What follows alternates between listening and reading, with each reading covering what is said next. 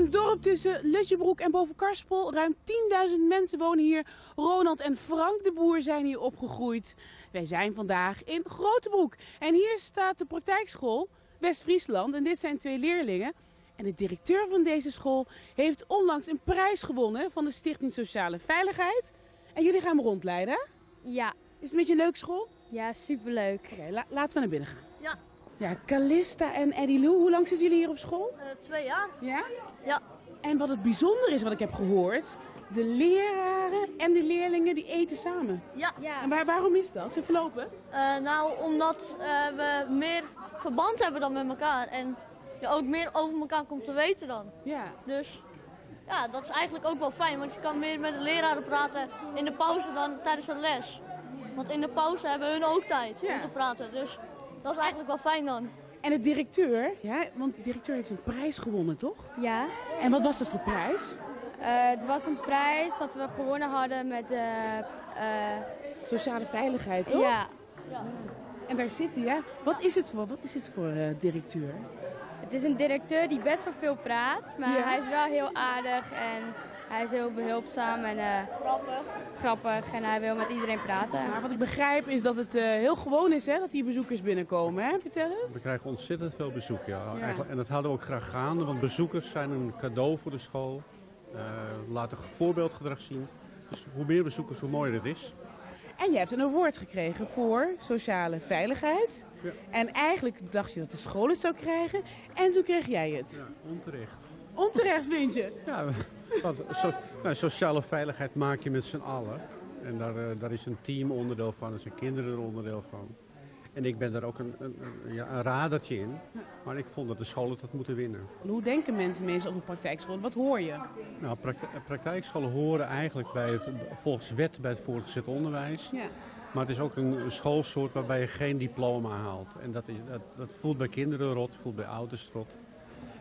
En eh, dus we hebben niet zo'n, praktijkonders heeft niet zo'n best imago.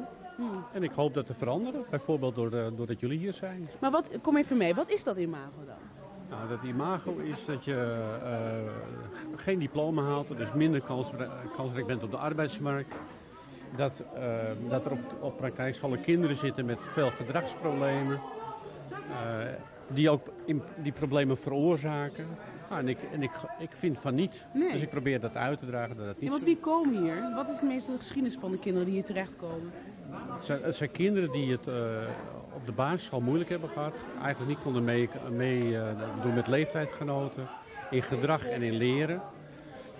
Ja, en, en, die, en die komen hier. Die, worden eigenlijk, die krijgen een indicatie praktijkonderwijs. En wat is zo speciaal? Wat doen jullie hier anders dan op andere praktijkscholen? Een van de mooiste voorbeelden is dat wij hier op school met elkaar eh, drie leefafspraken hebben gemaakt. En die leefafspraken worden door alle, eh, al, alle kinderen en alle collega's onderschreven. Die beloven we elkaar. We hebben drie beloftes gemaakt met elkaar.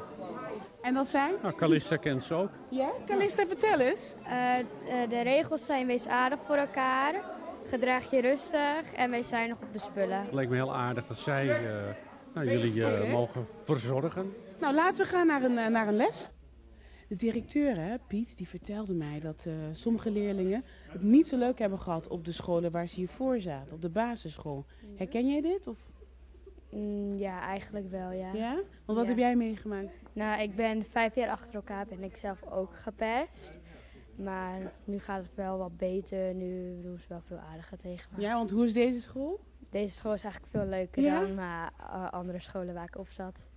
En jij herken je dat? Ja, want eh, op andere scholen had ik wel eens dat eh, leraren er niks tegen deden als, ja, als iemand mij sloeg of zo. Of ze hebben me opgesloten in een hok voor langer dan vanaf 10 tot 3 uur. Dus ja, ik heb het ook niet leuk op mijn vorige scholen gehad. En hier valt het echt mee, want hier heb je bijna geen straf, alleen consequenties. Oké. Dus dat is het meer. Je hebt hier geen straf of iets. En wat vind je nou het allerleukste hier? Want dit is, welke les is dit? Eh, Kom even bij me staan. eh, dit is eh, algemene techniek. Ja. En dit vind ik toch wel het leukste vak, omdat je er het meeste doet ook. Oké. Je maakt er van alles. Je kan, vo- zoals vorig jaar met, ehm, hebben ze een racewagen gemaakt voor carnaval. Waar je ook gewoon echt in kon zitten, Formule 1. Dus Ja, want wat, wat, wat hier achter ons, even kijken. Wat, wat wordt dit? Wat is dit, wat we hier zien? Dit is de kar waar eh, de carnavalspullen op gaan. Dus dit wordt echt gebruikt straks in een carnavalsoptocht? Ja, Oké. Dit is welke les? Dit is eh, metaal. Metaal, oké. En ik zie daar Piet, die wil ik even nog wat vragen. Wat ruikt het hier? eh, lekker hè? Naar metaal, hè? Ja. Ja. het is een geurig lokaal. Ja. Wat, eh, ik, ik heb begrepen dat ehm, als leerlingen hier klaar zijn, dat er ook nog een heel nazorgtraject is. Ja. Hoe zit dat? Nou, eh, de bedoeling van praktijkscholen is dat leerlingen toegeleid worden naar arbeid als het kan. Zodat ze eh, kunnen participeren in de maatschappij. Maar het zijn kinderen met ehm, gebruiksaanwijzingen. Dus het kan ook zo zijn dat een, als ze eenmaal een baan hebben, dat ze die niet behouden. En het komt vaak voor dat, eh, dat jongeren dan alsnog werkloos worden. En daar hebben wij een opdracht in. De praktijkscholen in Nederland die hebben een opdracht om twee jaar lang nazorg te ge- leveren.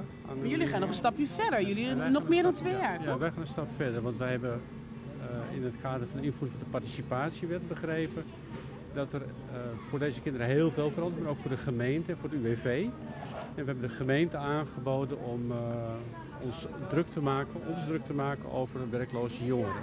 Ja. Want wij kennen deze jongeren, we kennen de omgeving, we kennen de wet en regelgeving, we kennen de stagebedrijven. En we kennen ook de handicaps en de hulpvragende kinderen. Jullie zijn specialisten eigenlijk. Ja, ja en dat, dat pikken we dan weer op. Dat hebben we aanvankelijk als een pilot gedaan. Ja. En dat is goed bevallen, bij de gemeente goed bevallen. En nu doen we het voor een, eh, ja, voor een zevental gemeenten in, eh, in eh, West-Friesland. Zo. Ja. Weet je wat je later wil worden? Ja. Wat wil je worden dan? Juf. Juf. En jij? profvoetballer. Profvoetbal. Oh, kan je wel een beetje voetballen dan? Ja, zeker. En wat? Verdediging, spits, wat ga je doen? Overal. Overal. Zelfs keeper.